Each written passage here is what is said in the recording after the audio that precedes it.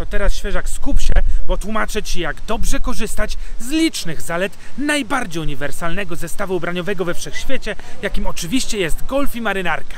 Golf i marynarka to bez wątpienia zestaw wytrych, którego niezwykłość polega na tym, że jest tylko nieznacznie mniej formalny niż większość codziennych sytuacji zawodowych tego wymaga i tylko nieznacznie bardziej formalny niż wymaga tego większość sytuacji casualowych, na przykład takiej, gdzie większość osób nie nosi marynarki. Oznacza to, że golf w połączeniu z odpowiednio dziarskim uśmiechem lub jeśli wolisz odpowiednio poważną twarzą pokerzysty nadaje się na prawie każdą okazję. Golf to jeden z moich ulubionych elementów garderoby na wyjścia po pracy. Pozwala mi przemycić elegancję do wszystkich sytuacji, często w gronie osób niezainteresowanych ubiorem i jednocześnie uniknąć wszystkich tych komentarzy w stylu a ty znowu na galowo, które zwykle pojawiają się, kiedy oczy osób nieświadomych dobrego ubioru widzą ubrania wykraczające poza ich strefę komfortu.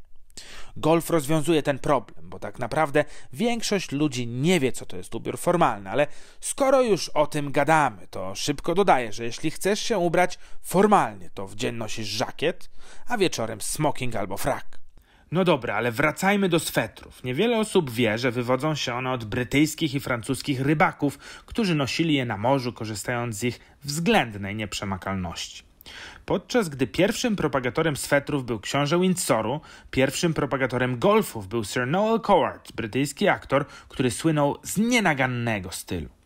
Na pierwszym zdjęciu widzicie go w golfie, a na drugim w płaszczu typu polo, którym też się jaram, chętnie noszę i jeśli chcecie zobaczyć o nim wideo, to napiszcie mi to w komentarzach. Uzyskanie casualowego charakteru zestawu z golfem wymaga połączenia go z odpowiednio sportową marynarką czyli taką, która nie wygląda jak garnitur, na przykład dzięki wzorzystej tkaninie albo miękkim ramionom czy nakładanym kieszeniom. No dobra, ale dla kogo w ogóle jest golf? Dla prawie każdego. Osobiście bardzo cenię sobie golfy za niezwykłą uniwersalność. W rzeczywistości noszenie golfu niewiele różni się od noszenia bluzy od dresu.